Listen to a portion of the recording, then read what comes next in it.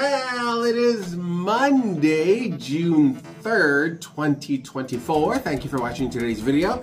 I'm gonna do today's tarot card for you, so let's see what today's tarot is gonna tell us.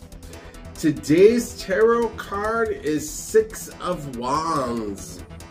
So with this Six of Wands, do look for things to go your way.